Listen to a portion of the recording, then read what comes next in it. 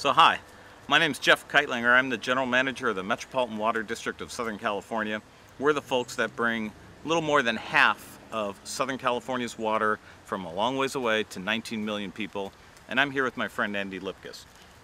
And I'm Andy Lipkis, President of TreePeople. We're a local nonprofit organization that's working to source half of Los Angeles water from the rainfall and conservation. Our job is to inspire and engage people to participate as making a sustainable future for Los Angeles.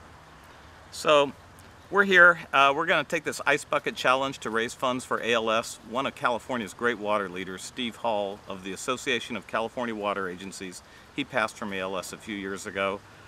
Now originally we were wondering about throwing water around during a drought, but Andy came up with the idea that we should water trees while we're doing it, and now we're doing it in an environmentally drought responsible way. We're being water wise. The water you're about to see came from my shower this morning. Uh, buckets in the shower, as we do every morning.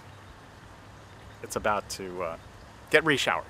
And water trees that are drought stressed all over Southern California. So you can do the same. Capture your water from rain, from your shower, conserve it, get it to the trees that really need help right now. So now we're going to challenge a few folks of our own. I'm going to take on the water community my first challenge is going to be the chairman of our board of directors, Randy Record from the Eastern Municipal Water District. I'm going to challenge Randy Fiorini, a longtime friend of Steve Hall's, and he's the chairman of the Delta Stewardship Council. And finally, I'm going to take on the rest of the MWD managers, all our member agencies that serve water from Ventura down to San Diego. I want all you guys to do this as well. And I'm going to reach out to some of the nonprofit leaders in town working as part of the Partnership for Water Conservation and Resilience.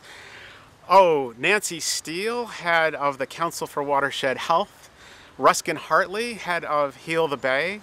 Steve Fleischli, the water leader for the Natural Resources Defense Council. And I was only allowed three, but all the other people conserving water invite you to join us too. All right, here we go.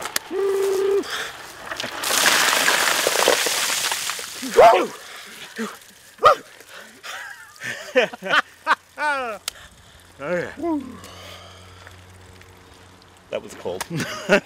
we don't always agree, but for the cause of saving people and health, we're together. And in this drought. Thanks, Andy.